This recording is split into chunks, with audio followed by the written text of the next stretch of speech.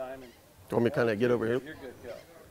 I'm John Drouet, the National Sales Manager for Momoi Fishing Line and Diamond Fishing Products. And new this year, we have a 2,000 pound dredge swivel.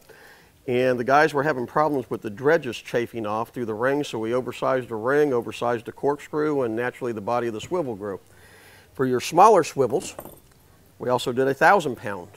Uh, perfect for the Florida guys dragging the, you know, the smaller dredges, the big one naturally for up in, you know, Maryland with the 48 Islanders on it.